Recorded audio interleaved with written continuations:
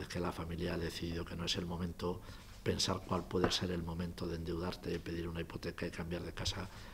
pues tendremos que tener una confirmación de que efectivamente la pandemia ya está dando muestras claras de crecimiento, de que el empleo ya ha hecho toda la sangre que tenía que hacer y recomponer la confianza familiar en torno a la economía para algo tan importante como una casa tiene que ser en un momento bastante posterior a que te vacunen.